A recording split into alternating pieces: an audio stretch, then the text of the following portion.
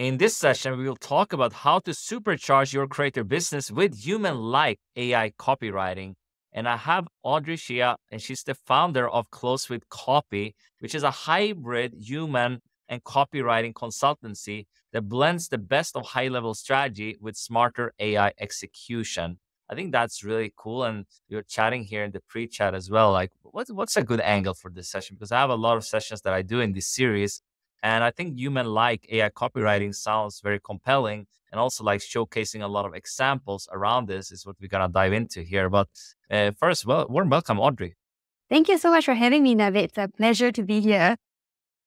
Yeah, and uh, just how we connected was that I saw that you're posting a lot on LinkedIn, and you're just an up and coming creator there. You're pro- posting really great content, so I reached out, and here we are. So now you're gonna share some amazing value, and I've seen the stuff you prepared. It's quite amazing. But before we get into that, how did you get into the world of AI, and kind of what it is that you do on a day to day basis with this?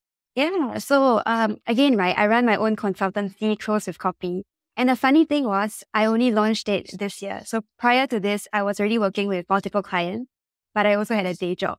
So this year was the year I decided that I'm going to quit my day job and go all into my consultancy. And guess what happened?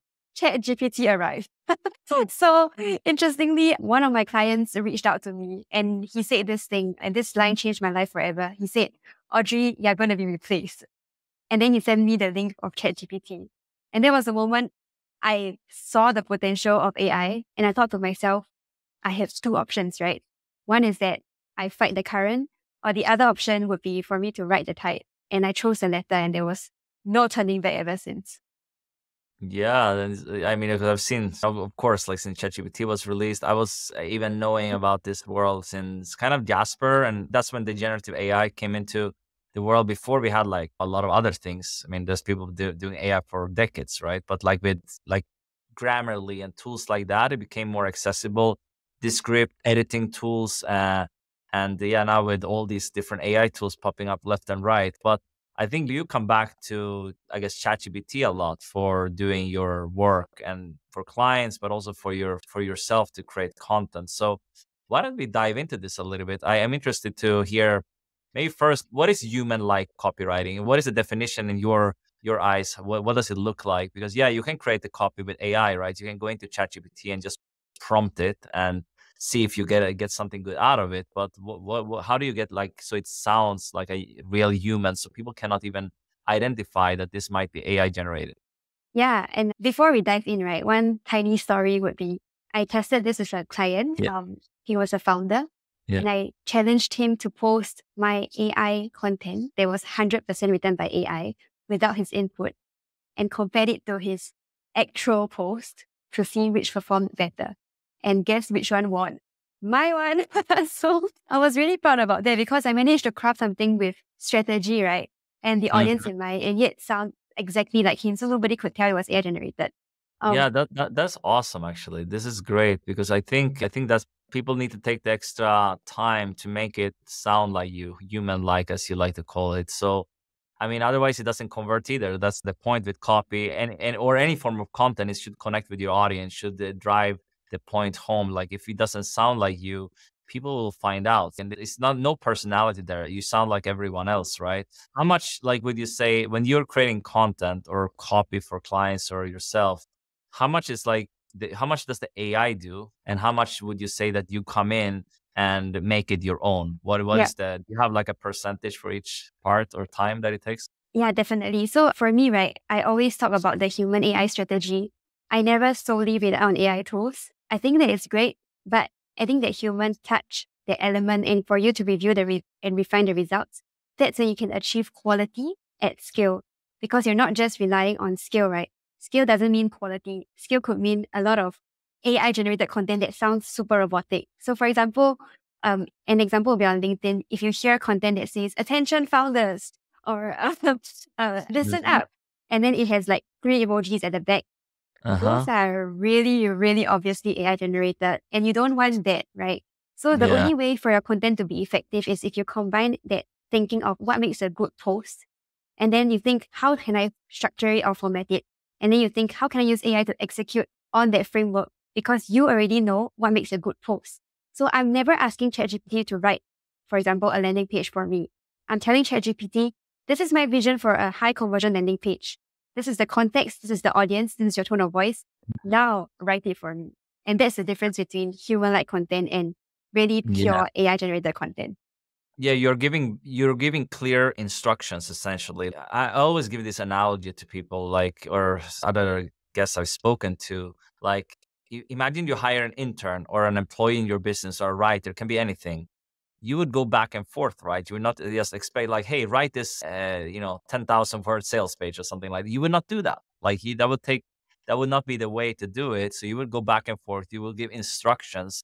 And so if you're treating ChatGPT or the AI tool you're using as a human, I think you're getting better re- response. Like I know, yeah, prompt, prompts is all the rage, right? It's everywhere. But I think if you're forgetting about this, I think also we are moving into more promptless AI. It's going to be less with prompts in the future. I think that's going to go away a little bit because that's already in other tools like built in behind the scenes. So I think it's like learning how to just instruct it based on your audience, kind of the way you described it. You're clear on your audience, you're clear on your messaging, these things, then you're going to get better output from ChatGPT, right? Or the AI tool you might be using. So I, I 100% agree with you there.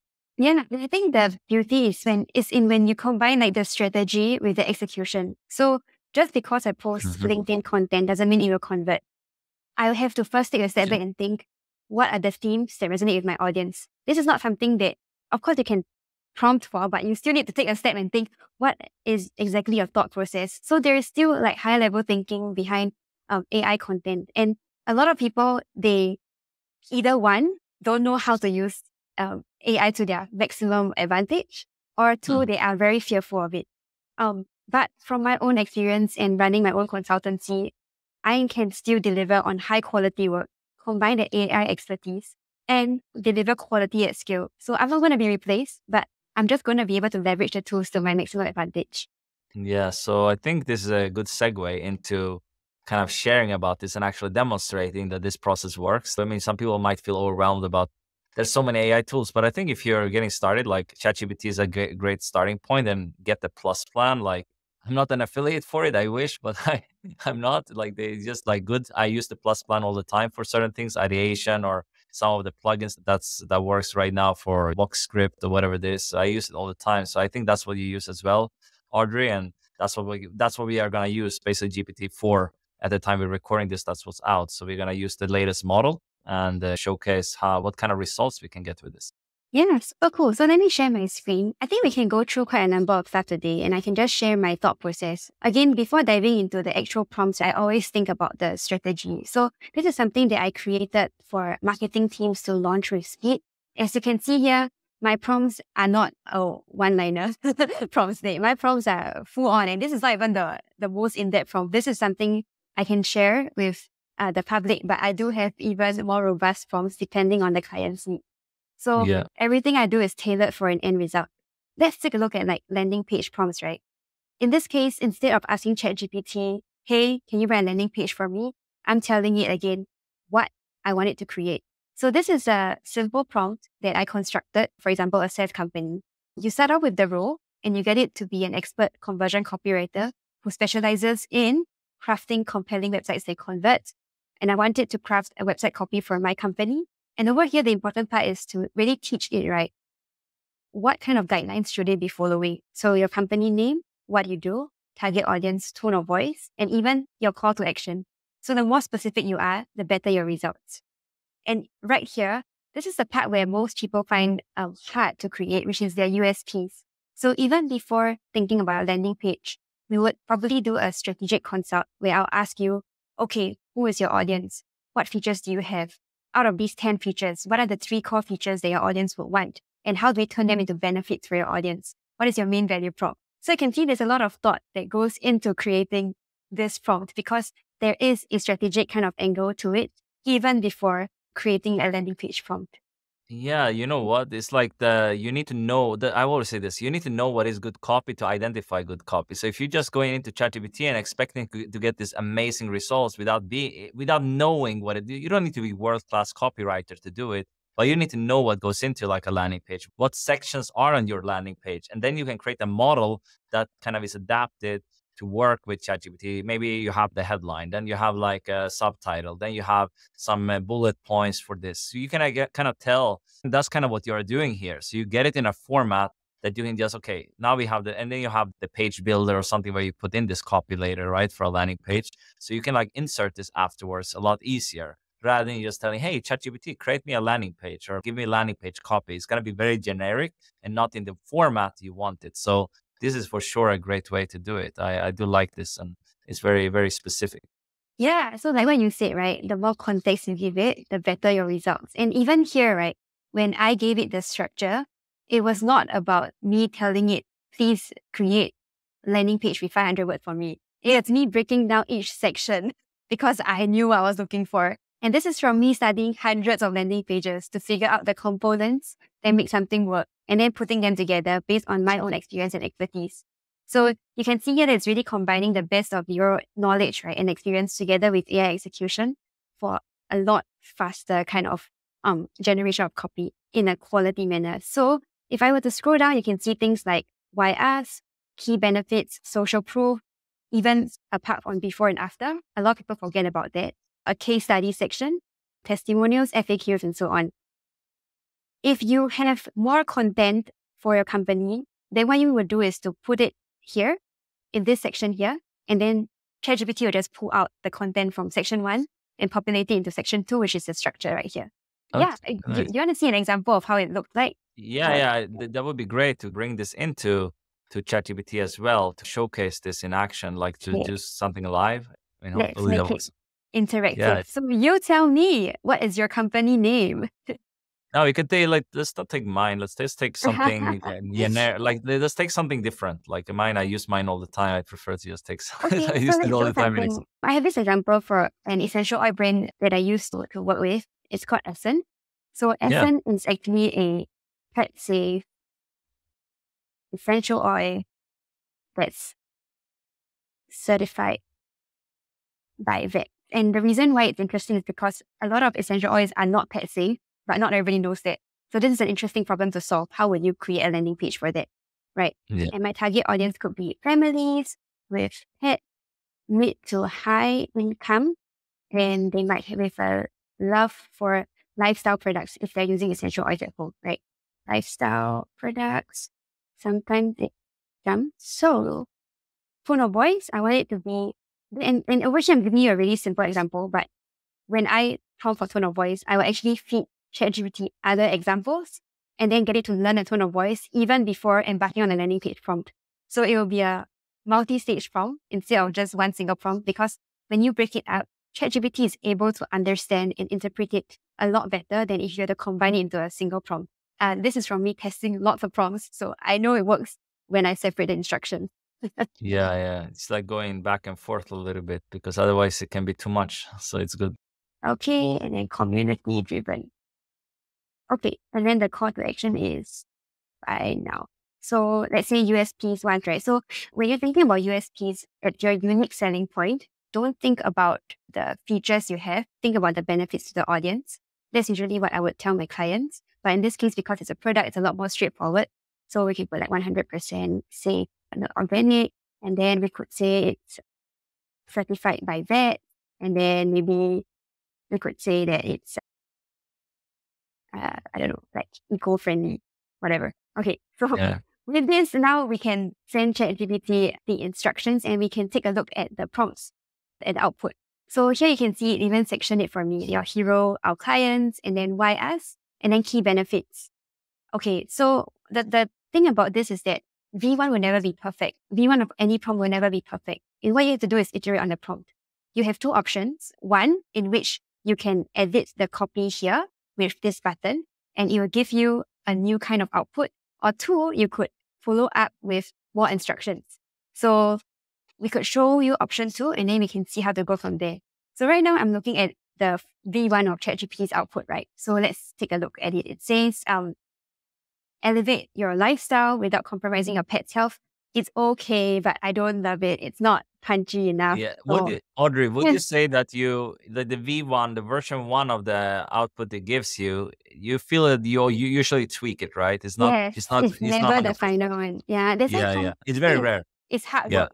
It takes lots of iterations. So you will never Yeah, get it the first time forth. round. But it, But it's a lot faster than doing it like the old way was to do it like you write it from scratch. You maybe have you check other things, but now you can do it with AI a lot faster. But yeah, as, as you said, it's like takes time. If you want to make it sound like you and make it convert, which is the most important thing here. This is a landing page, so you want it to convert. It's just not about putting some words on a page here that ChatGPT spits out. It's actually gonna be the right words you put on that page. Yeah, That's the correct. important thing. So things I would actually do even before this prompt would be firstly, I would have a prompt that allows me to understand my audience insights, pull out their pain points, their desires.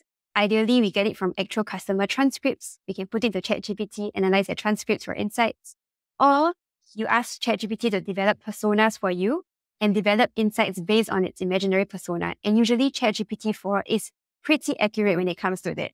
How, how do you do that usually? This is this is uh, I'm sure valuable for people. So you develop personas basically. So you said you can uh, yeah you can upload PDFs and stuff like that. I find it sometimes glitchy. I use sometimes the plugin still, but it, it's at the time we record. I'm sure it's gonna get better. But yeah, you can upload transcripts, text, a lot of text like to to it. But yeah, you have, still have a limit with ChatGPT and the token limit. So the kind of the memory and all these things. That's the that's the downside I would say. If you have like a longer PDF or a longer transcript or something like that, you cannot upload everything. so yeah. So there are two ways to do it, right? One is like what you say. You have the audience transcript and then you upload it. Um, The other way, which is really interesting, is this. I developed this based on real clients and real needs. So I'm very you can be sure that they are not just they're not just for show, right? Because I'm actually using it and, and it works. So for example, I developed a prompt firstly where I got it to be an experienced audience researcher and brand strategist. And I wanted to develop deep and detailed interview questions to help me gain audience insights for my brand. And then I gave it a whole list of questions in which I wanted to, to dive into. So this is stuff from me as well, but to get to here, I actually reverse prompted with some output. So anyway, it's about finding different ways to solve problems, right? So I created prompt one, which gives me a list of questions for my audience. And then prompt two says, now I want you to put yourself in the sho- shoes of my target audience and respond to the questions you've just generated. so you can see it's a bit meta, but you can get it to generate the prompts and the question and the answers. Um, it's totally possible. No, I actually ChatGPT is pretty good at that. I noticed it as well. Like I, I've seen some people like you can yeah you can ask ChatGPT to come up with the use cases for a tool. Like even for let's say ask ChatGPT come up with the use cases for this specific thing, and then you can generate the prompts for this. Maybe you want to know more about email marketing, so it generates the questions that you need to know about email marketing, and then you can generate the prompts to kind of get the output you would like to get. So Yeah. That's pretty. It's pretty meta, but it works. yeah, yeah. And I, I Mm. think it's about solving a puzzle, right? So ChatGPT is a tool, but it's how, how about how creative you get on how do you get your end output. So I'm just finding different ways to use it, and then I'm stringing it into one line, and then now you have audience insights, you have maybe value proposition, you have landing page, and then after landing page, you can create emails and ads, all with AI. Yeah, let's go back to the example like you, you showed like in ChatGPT to go through this process because you weren't 100% happy with what came out. So uh, what would you do to change this? Oh, Yeah. maybe going back to this, right? Yeah. So I don't like the way, firstly, it sounds. I think it's a bit too cliche. So, as Mhm. a, a, a kind of even a simple prompt like, can you make it less cliche? Think you're an amazing brand copywriter. Sometimes it works, sometimes it doesn't, but let's try it. I would just tell it exactly what I feel, right? Can you make the copy less cliche sounding? So you, I want it to be sharp and. So even something like that, right? Just to test to see what kind of result it would give you, right? And now you can see that it's actually going to the other end of the spectrum of it's a bit thin, but it's a bit too much. So there's a scale of what Yeah. ChatGPT wants to give you, right? So it's about balancing it and thinking, how can I give it the best instruction to get to mm-hmm. where I want to be? And even something like that, I could be like, can you please tone it down by 20%? That is a prompt by itself. So thinking of it as a num- putting a number It's- to the skill, it also helps as well. But it looks like you're just basically you're having a conversation with, yeah, there's these like mega prompts and all this you can use. I mean, it's basically just adding instructions. That's what it is. That's what this is. You're adding like that to ChatGPT.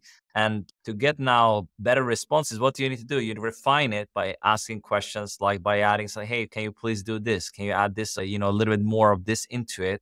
And then it's just going to improve like over, it takes a few iterations, as you said. Let's see what comes out here if you are yeah. getting a little bit happier with it. So let's see, right? Okay. The headline says, no more side eye from whiskers. This is too much for me. I do not yes. think that it works, right? And then it has pause and applause from. So it took the feedback tool literally. Like when I say sharp and witty, I think it went crazy on, on, on that. So too much, too much. So what I would do from here is I would say like, okay, like what you said, a conversation, right? So yeah. let's take a step back. Let's start with section one. Okay, I want you to give me 10 headline options and then think of the target audiences, pain points, and desires. So now I'm writing it to because it's going away from what I want because any copy that works always sets on insight, right? No more side eye from Whiskers is fun, but it doesn't talk about the target audience insight. It doesn't talk about the brand. So now I want to just start with section one. And then we try to figure out, can I shape it to where I want it to go? So when it ties back to the target audience's pain points and desires, that is also looking at the audience insights, right? So I'll take a look at, okay, what kind of copy and angle they are actually providing. And then I'll think, is this something for me? And then we could explore more in that direction. So over here, you can see what it has done is it has tried to retain the witty tone of voice. And that's not something that I actually enjoy because I think it's a bit too much. For mm-hmm. example, like where fragrance maybe like writing more like conversational or something like that I, I i mean that depends on how you want to write it but like, yeah, i think so, for example for my blog or for my writing i i tend to make it more conversational and, and like more approachable like to to the audience yeah definitely so it takes a bit of exploration but what I would actually have done is in the base prompt, right? I wouldn't have just kept it as this. I would actually have fed it an example of my tone of voice. I would have fed it a lot more content about my audience insights. So the output will yeah, be a lot you more. can robust. try this example in a little bit here because I think you have. You, let's say we can also take your example because you have LinkedIn posts and stuff like that, and we can tell them to do an eh, like do some other example. Like you can take one of your favorite LinkedIn posts, for example, and we can do a similar example to write something based on that, like to try to tell ChatGPT maybe to analyze something you have done that is popular and then come up with something similar based on that. I think that is a good use case as well let's try this as an expert. And I always use expert brand copywriter. Can you analyze the tone of voice and style of writing for this page? This is actually my own website. So I'm trying to see if we can pull okay. my tone of voice from this and then we Maybe can see take the because you don't have. I mean, it depends how much you have on. The, if you the more content you have, the better. I think. But if you, I think what would be if it works to take like one of your maybe you can copy because the LinkedIn posts are not that long usually. You can probably copy your LinkedIn post and try to analyze one of your most popular posts, or even it doesn't matter if it's yours or anyone's, but you can take like Justin Welsh post, analyze that, and then hey, I want to post in a similar style like this and that works Definitely. pretty well. I've just I've, I've used that strategy a lot actually. That is quite useful. Definitely. So the other way that um, so I think right now right it's something the prompt is okay, but it's not that great. But basically, if you are able to get a full prompt, which I've managed to achieve previously, I'll take that prompt, then I'll put it back into the landing page prompt, and then we can see how that goes. The other thing mm. that hmm. you just mentioned is like here. Let me take a look at custom instructions. So for those of you who do not know what custom instructions are, they are a way for you to save different roles or profiles in GPT, and you could use different instructions for different purposes. So you can see here that I have a conversion copywriter, a landing page, brand strategist, template okay. generator. So over here, I will oh, so you added multiple. No, that's really cool, actually. You can save multiple. Yeah, because my the, yes, I, I think I, I, I saw this as well quite recently. But uh, yeah, you can have multiple. So if you have multiple clients or multiple personas or whatever, you can just add it in there, which is really cool. I, yeah, I think that's great. This is what you said, right, about getting into to templatize. So I have also a templatized template generator that I use for other stuff. So for example, I get it to analyze my template and include placeholders and even include like a word count for each sentence, right? So I save this and then we'll start a new chat. And now, right now, we can try something for. Before we uh, get into the what, what is important when we just just something on custom instruction? What what do you feel is important to put in there? Like any anything about because you have a limit on the words, I think as well. So you need yeah. to put in the most important stuff there. Yeah. So I think me, the second part of the custom instructions, actually, this is the key part. Like, what exactly are you looking for? And the thing is that it will always respond in the format that you give. So even if you don't intend for it to respond that way, it basically takes that as your structure and will give you that structure every single time. So you, if you're using this custom instruction, you need to have something in mind. Why are you using it? And what is the output that you're actually looking for? The more specific you are about your structure or output, the better it is. Even something like here, right? A performance strategist. I put this performance strategy persona from a book about cycling and it was about reverse engineering, right? So for the example that I gave it, I wanted it to structure how it would reverse engineer a problem based on the example that I've given. So for a team of four cyclists, this is what they need. And I want it to dive deeper into each section. And I give you an example of what it looks like. And then I want it to give me at least five questions for each breakdown and three solution. So you can see how specific I am about my yeah, responses. Also, I think you, yeah, that's awesome. You can add also about like your the paragraph lengths and all these things in there. Like you want simple sentences and stuff like that. That's kind of something I do a lot. And also, if you want to cite sources, I think that works really well because maybe you're writing something for a blog or whatever that is, and you want to keep that in mind and not just let ChatGPT. It's going to be difficult for you to find where it took all the information from afterwards. So I, I do this sometimes that's as well. Super cool. I didn't think about the citing sources. Yeah, that's a great use case. Would definitely yeah, test yeah. it out. Yeah. So going back to let's sure. say what you say about the template generator, right? Now I have this prompt, I save it, and then let's go to LinkedIn, right? Um, so let's say you you're talking about Justin and Justin has really good copy and he has mastered the art of writing on LinkedIn. So what you want to do is basically just copy the post. Uh, let me see if I can copy it here. My screen is a little yeah, bit. I, I think a lot of people don't know that you can like ChatGPT is amazing at analyzing different things. I think that is one of the one of the best use cases I think for it because then you can get unlimited ideas and things like that based on something that's already working. It's already proven to work. And not only Justin, but you can also look what up and coming creators are doing. He's he probably anything he posts will do pretty well now because he has a lot of followers. But you can look at someone like even Audrey, which has fewer followers than him. But if something goes viral that you create, is more likely that would work for an up and coming creator too, a similar style, because that's been proven. Like if you get you I don't know, you have a few thousand followers, right? If you get like a post that goes viral, like with tons of traffic, that's probably a pretty good format of a post for other people to try out. Yeah, definitely. So I think um what I normally do is give ChatGPT the prompt and then give it the template or the framework that I want, and then it creates new copy based on that. And then I add in my own context for the new topic, which is why it's so exciting because now you figure out how do you crack the code and then now use the code for yourself. yeah. So I think yeah. when sometimes um, GPT doesn't understand like the full instructions, right? So but it takes time for you to figure out what is the right prompt to get to the right results. And that's why prompting isn't as simple as what most people would assume. Um, they think that it's just a one liner they can steal, but the ideal prompt is always crafted with care and with thought and figuring out how do I get my, my end output. So think of it like an experiment. Um, and you are trying to solve same, problems. Yeah, I 100% agree because people are thinking like you can just ask one question and you're gonna get all this out. You you can like have a conversation with ChatGPT. That's for sure. Any AI tool, you can go back and forth. But I think like you wouldn't give just a one liner to an intern or an employee to do the work properly for you. You would have like probably an SOP, like processes and things like that for them. It's kind of similar. Like, how do you expect ChatGPT to do the work for you if you don't give them pro- eh, give it proper instructions? I think that's kind of the same thing there a little bit. Yeah, definitely. So you can see here that it has analyzed actually a lot more than what I expected. It analyzed the content itself as well as the format.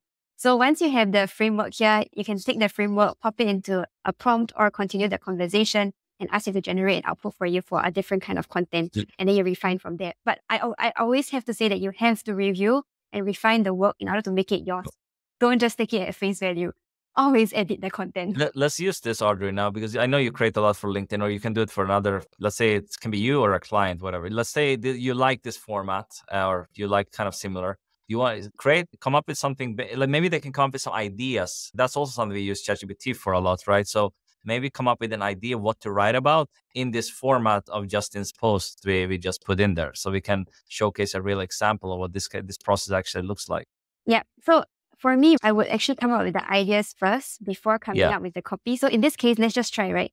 Um, yeah. Can you that's that's for sure. I do also the ideation. Like you have a bunch of ideas to take from. I think that's good. But you can also like have it analyze maybe the top because it's good sometimes to see what works on the platform like LinkedIn or in my case, I create a lot of long form content. So I might already have a video like this or something like this. So I can like get the transcript or I can get the video link. I can use like VoxScript or something like that. I can do like the takeaways. And after I might craft my LinkedIn post or my Twitter thread, or whatever that is, based on the long form content. It depends a little bit how you are creating your content. Where is your main content? In your case, Audrey, I think is for LinkedIn. You primarily focus there. I do more like these summits and videos and things like that. So I might use this content to create my other content so I don't so I can repurpose it to different platforms essentially. Yeah, super cool. So yeah, I, I, like what you said, it's about thinking about your end output. How do you get there? In uh-huh. this case, they got me like the format of it. And what I would have done is probably say as an expert copywriter who knows this, this is about my company. So I'm not, I will never ask it to write a post in a one-liner. There will always be more context. But this is just an example of how it would take Justin's format um, analyze it, and then create more content around it. Of course, I think this is a bit too long for LinkedIn, so I might sharpen it afterwards, but it's just an example. One what do you that... find working for LinkedIn? Just cu- curious because you have created quite a bit. Like, what do you see, like yourself and for top creators on the platform? What do you see, like in the length? Every platform has the unique things that's working, right? So, yeah. I know carousels is really popular, but like the length, I'm talking the length and kind of what goes into the post usually. I've tested so much. So mm. over the past six months, I have grown from about zero to 13K followers. And, and that's really true, taking LinkedIn as a growth channel. And when I say growth channel, right, I'm experimenting. Every single post is an experiment. I track and record everything to make sure yeah. when and how to excel. The posts that have done really well are posts that basically is a massive value add to your audience. So there are creators that do text only posts, which I admire. But for myself, my most valuable posts are carousels. They are value packed and it breaks down my thought process behind prompting, behind converted copywriting, behind strategy. Um, and when people consume that kind of content, I think uh, they appreciate it and they engage and they share, then that's when you see the spikes. So instead of posting every day and posting text only posts, I post twice or thrice a week with really valuable packed content. So every post needs to be geared for conversions. Otherwise, there's no point posting it. Okay, in- interesting. So you don't you don't post like every day. So like some creators post every day. No. Okay. So for me, it's really I, I really see it as being strategic about the time you spend. Mm. Second point that most people don't realize is that it's a social platform. You have to engage more than you post. You spend 80% of your time engaging, 20% of time posting. And LinkedIn yeah. rewards you for that because of its mm-hmm. algorithm. And the engagement is a little bit like promoting your profile because you're seen there, right? So a lot of people, if you post like, if you comment with engaging and, and thoughtful comments, right? Not just any comment, like to say, hey, this was a great post. That, that wouldn't do anything. I think you need to add something to the content that is posted on the platform. I think that works well. And then other people might click to your profile and you will grow. So because people see your profile coming up and you have commented on other posts or liked them or things like that. And if you're early, I assume you like show up in the you show up like as the top comment. Yeah. So they are it's really strategic. If you were to engage with a power creator, basically someone with a bigger following, try to do it within the first 10 or 5 minutes actually, because once they en- they will engage with you in the first few minutes and that's when your comment gets pushed to the top. If you're yeah. engaging with a smaller size creator or someone like yourself, then just be consistent because that's how you build rapport and mm-hmm. you build a community around it. How well. do you how do you schedule that? Do you do it like on a daily basis? Do you know when the big creators are posting, or do you have like a schedule for it, like timed uh, when you should comment every day or engage with others? So the interesting thing is that a lot of the really big LinkedIn creators who have made it, they are rigorous in their scheduling. so some people create Excel sheets. Uh, I don't do that. I just push the bell notifications and I sort of internalize their timings uh, that they post. You have to think of it as like, like a sport. It's not for leisure. It's not for fun. Uh, LinkedIn, of course, can be enjoyable, but you must remember why are you on the platform in the first place? And if it's for your work, it's for career, you have to treat it like an athlete. it's a game and you gotta be in it. That's how I win. And that's how I think you can scale really, really fast. If you treat it like work, if you treat it like a profession and you find a way to, to grow and scale with speed. Yeah, I mean, I think it's a valuable platform. A lot of great content. When I started out like ten years ago, it's a spammy platform. Now LinkedIn has like become a lot better. So I, I do like LinkedIn a lot, and I that's why I wanted to have you on here to talk more about it. But let's get back to the example a little bit to get that into kind of a post that we can actually post on LinkedIn potentially. Yeah, uh, so from maybe, this framework. Maybe what I would share is also like before because again, right, this frame I always emphasize it's not about creating a template and just adding content in there. It's about of the course. strategic work before that. So for me, even before diving into you start with the end in like mind this. a little bit. It's yes. like I start, yeah, when I create products and, things, I start always with the end in mind. So I think that's important. I think it just helped. Like even Justin had like a system for LinkedIn. I think he had a lot of templates and things like that as well Mm. for like how to put like different forms of post that does well and things like that. So you can analyze different things, but you need to obviously know what is your audience, what is the topics, who do you want to engage with, who do you want to reach, what's the call to action. Even if it's like a value post, it's still like a call to action in some way or another. So Yeah. yeah, Definitely. So like what I like what you actually mentioned, right? I think you are the best person to talk about it. But the idea is being able to first strategize before using AI.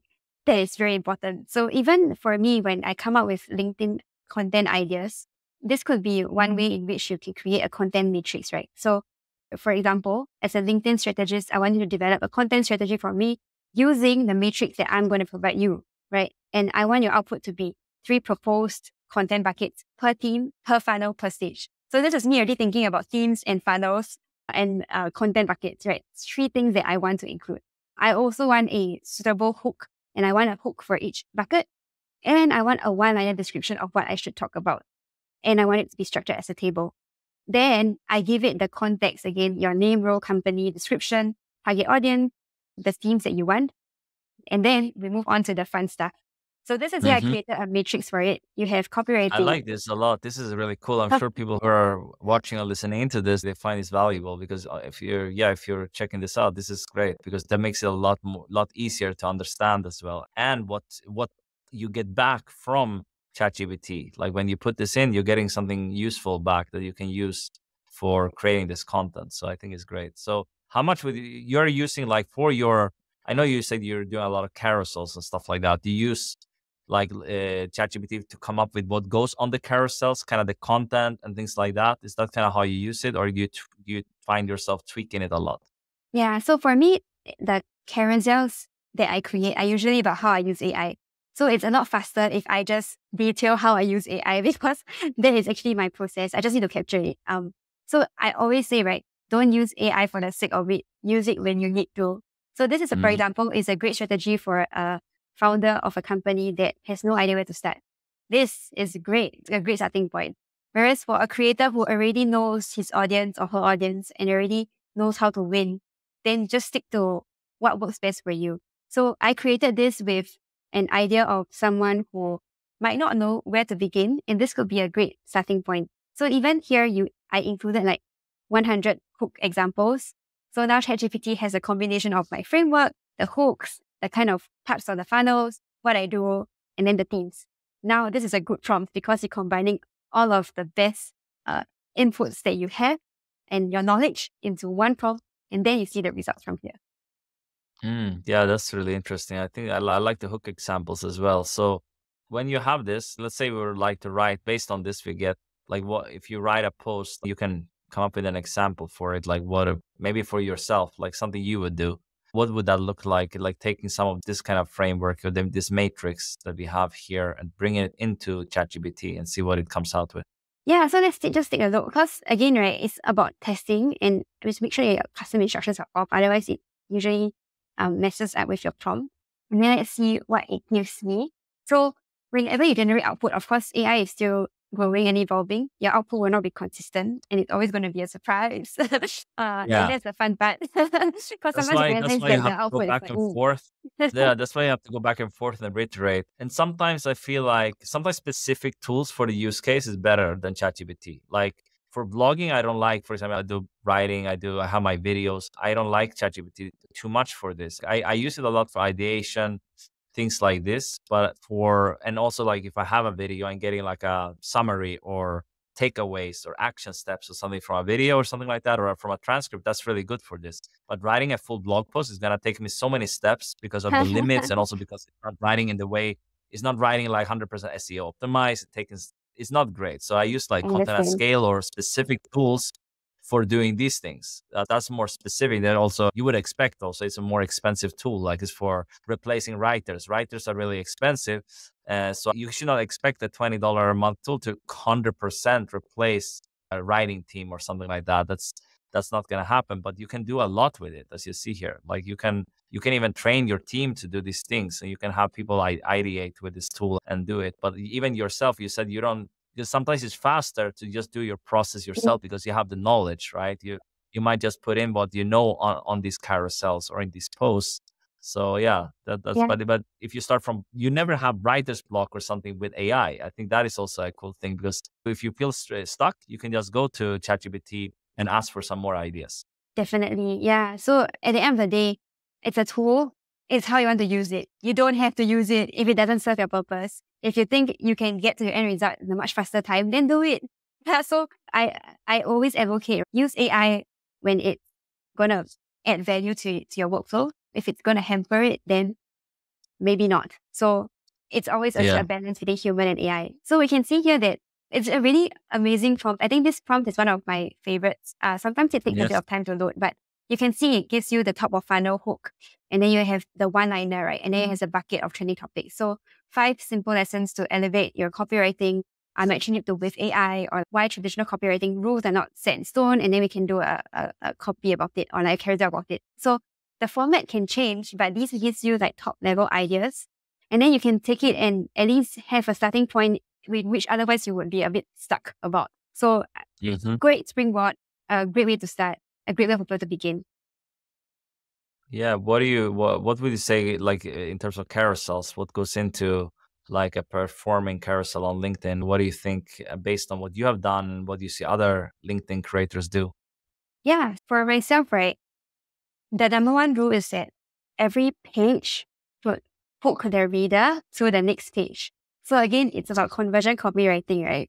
When you have one page, what is coming next. So for example, I did a recent post with um, Celeste. Celeste is a super, super cool creator. She does AI content strategy and together we built this carousel post.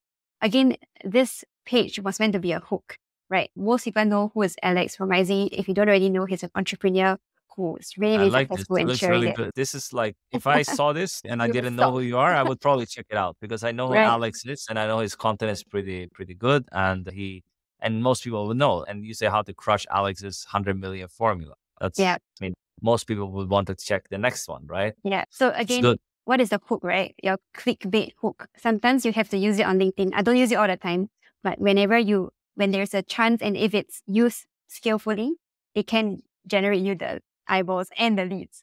So in this case, copy was strategically written to attract the audience, visual, yeah. the color, and then GPT. Yeah, the visual, I, I, do like that. It's simple design, but also powerful. It's like clean. I like that. It's yeah. like very clean, and you have your images of you, so you build also a little brand authority from this post. And uh, yeah, it's great actually. I think yeah, it's good. So, so Celeste was super amazing in collaborating on this post. And I'm doing a session with her. I'm doing a session with her as well, actually. Oh, so, amazing! yeah, yeah, yeah. So actually leveraging the power of another creator's profile and their expertise is something that you can consider as well. That's what I've done. I've done a lot of brand collabs because it's combining both of our knowledge to create something even better and bigger. And your audience will see that because they will gain value from both yourself and the other creator you bring on board. That so, is so that is powerful to collaborate. like for bigger things, with like I mean, there's some work involved in this. You can have templates for these things as well. I'm not talking like just a like AI templates, but you can have Canva templates to just put in your information for. I, I assume you use something like Canva to design this, right? Yes. Yeah. Ex- exactly. Like just use Canva and then you can do something like that. You can have different ver- different style of templates and then you can do it a lot faster. I think that's also powerful. But let's go through this a little bit because Yeah. a lot of things can for example, the, the headline that could, you can generate different ones but with the uh, ChatGPT can give you suggestions based on this headline. So that's how AI comes into this. Whether you write everything yourself or you use AI for the full thing and just reiterate, you can Yeah. do either way. I think. Definitely. So even like a carousel in itself is a conversion copy. And the way you get people to read Yeah. it is to make sure that every page has a hook and it draws you in, right? So if you give people the context of Alex and you put numbers, numbers again are another way to hook your audience in. A strong visual as well. And then it talks about what the book uh, includes, which is how he generates 20,000 leads. So we broke down the three step creation process into a really simple framework. So every page has one single message. Every message is clear, it's simple to understand, and it's in a really digestible format. And that's actually what you want in a carousel. Some people make the mistake of squeezing a lot of content You can have inside. unlimited. Uh, you have like 27 in, on Instagram. Carousel are like 10, I think 10 images, 10 photos or something like that. Um, what is on non LinkedIn, li- it Is there a limit on LinkedIn? No, it can. I built like a 50 page carousel before, so it's it's possible. My God.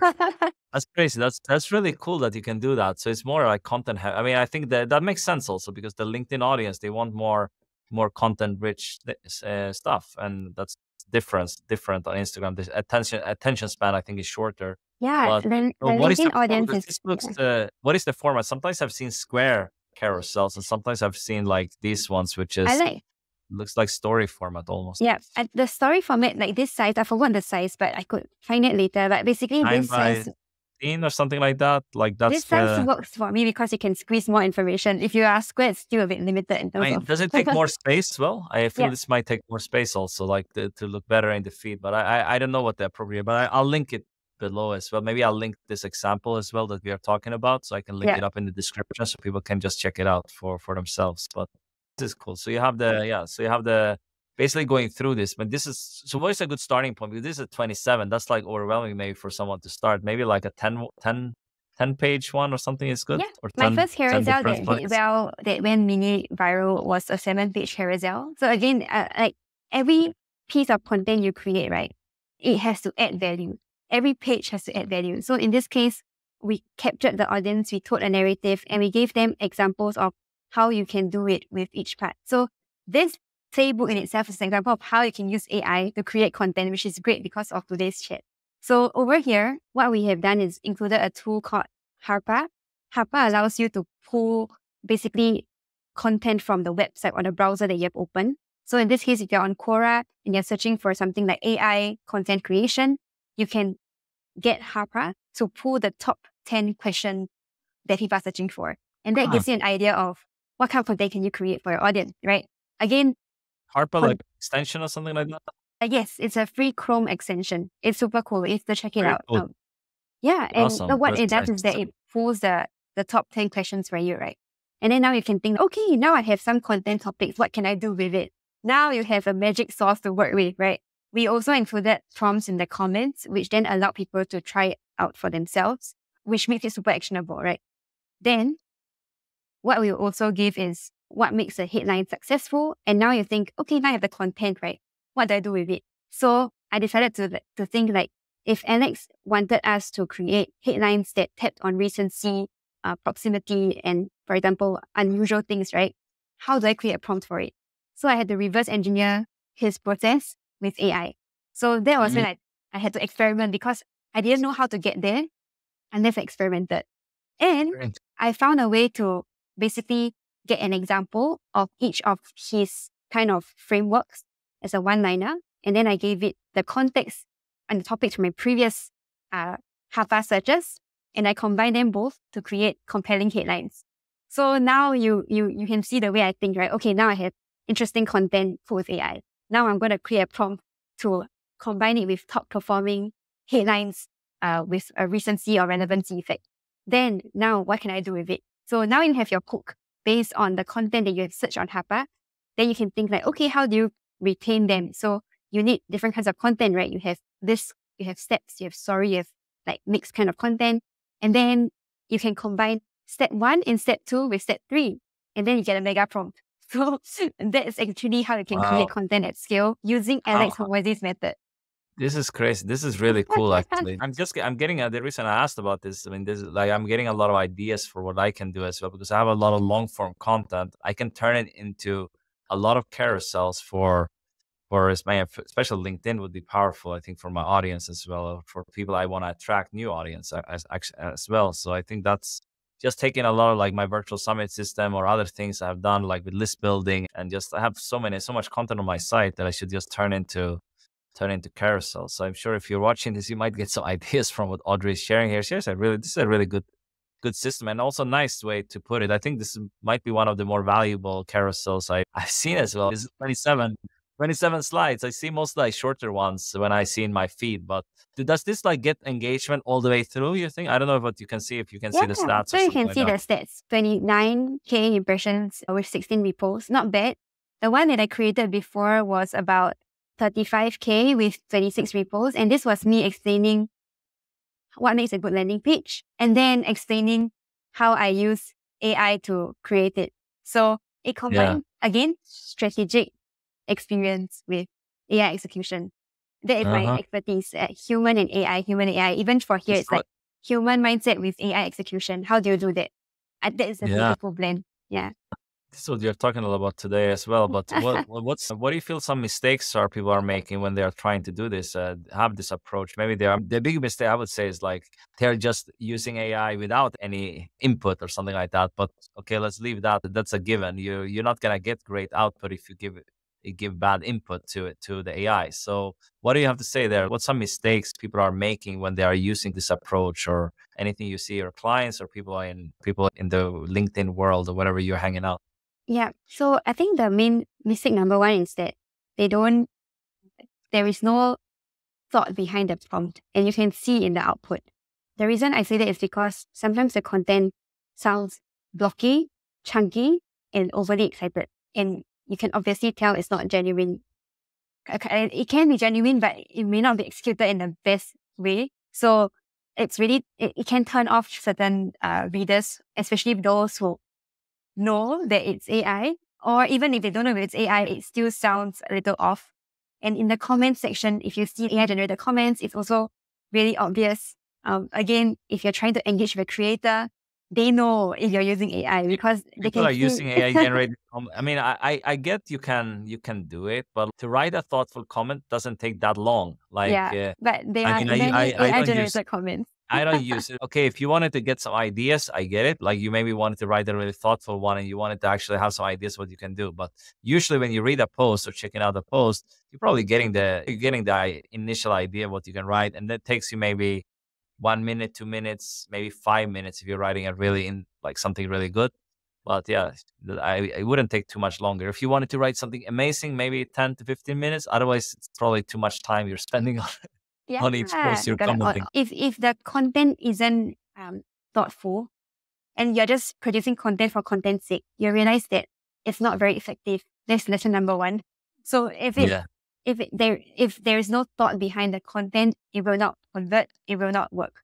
Um, I think yeah. I think Yeah. people are starting with the starting the wrong end sometimes. They're starting like, yeah, let's let's start just creating it, but that's not gonna do Yeah. that well if you don't know where where it's leading to. So in your example with this really amazing carousel, what was the intention behind it? More than of course drive awareness. That was the intention for both of you to get more followers or whatever, or was there some other intention like drive people to your website or get clients or what was the thought process? Yeah. So for a combined carousel post, usually there is only one goal, which is reach. Because if you were to sell a certain product or service, you need to make sure that you're aligned. In this case, my goal was to highlight Celeste's kind of profile and her content creation abilities and to bring value to my audience.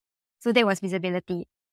If I were to create a different kind of post that basically, for example, shows all the prompts that I have, that will be to build expertise and credibility and get conversions because people know that I can build prompts.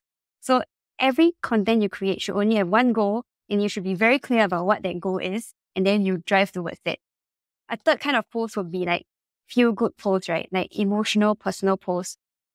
What is the point of that? It's not about sharing how my life has been. It's about positioning myself in a certain way in someone's mind so that they think and feel that I'm a certain person and they want to work with me because they feel my warmth, they feel that I'm genuine, and they feel that I'm real. Every content you put out there has intention, and you need to know what is the intention behind each of them. No, I like that a lot. This is great. And in terms of just before you wrap this one up, like, do you use any? We have talked a lot about ChatGPT in this session, of course, but do you use any other tools? Like you mentioned Harpa, of course, like the extension, which seems to really useful. I encourage. I'm gonna link it up as well and try it out myself. Yeah. But any other tools you use? You showed Notion, of course, you're using it because that was kind of you have all the different things there. I don't know if you're using the AI of Notion, but yeah. Notion AI is pretty good as well, but I use GPT more so I don't have to toggle between both. Yeah, But the other tool that I found recently and many other LinkedIn creators are also using is this tool. Have you heard of it? I have seen this one recently, actually. So I'm glad you brought. No, no one has mentioned it yet uh, on a session. So I'm I'm glad you brought this up. We can, can yeah. What, what so what do you do with this one? Just to So explain to the audience. initially I was just using uh, any other note taker, right? And the note taker, what it does is that it provides you with a transcript out of, of your meeting minutes, and then um you can consolidate the kind of next steps, right? What this does, I think it's called Sybill, is that it's an amazing tool that analyzes your audience's pain points, motivation, fears, and desires on the sales call, identify moments in which they are engaged or distracted Um, or, are- so it takes or from your Zoom call, like Zoom or Google Meet or something like that. You might be using for your calls, right? And it takes yeah, Yeah. yeah. So does it integrate directly and just instantly transcribes it and uh, analyzes basically the transcript? I guess that's how it would work, right? Yes, and it analyzes the exact moments in which your video, right? If your prospect Yeah. isn't responding to you or is a bit zoning off, it flags the points in which it's distracted.